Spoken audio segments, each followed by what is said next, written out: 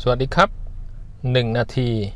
กับภาษาอังกฤษ วันนี้มาดูว่ามีคำอะไรนะครับคำว่า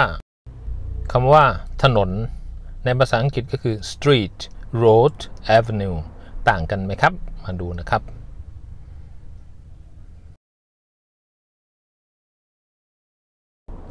คำว่า street คือถนนในเมืองที่มีอาคารหรือตึกเรียงติดติดกันนะครับ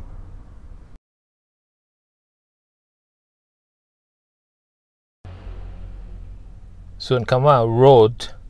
คือถนนสายยาวผิวถนนแข็งแรงสำหรับรถวิ่งทางไกล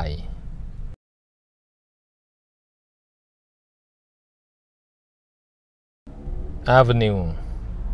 คือถนนกว้างมีต้นไม้สองข้างทาง หรือตึก สูงสองข้างทาง ก็พอจะเห็นความแตกต่างอยู่บ้างนะครับสำหรับวันนี้ก็มีเท่านี้นะครับ ขอบคุณครับสำหรับผู้ที่ติดตามและรับชม สวัสดีครับ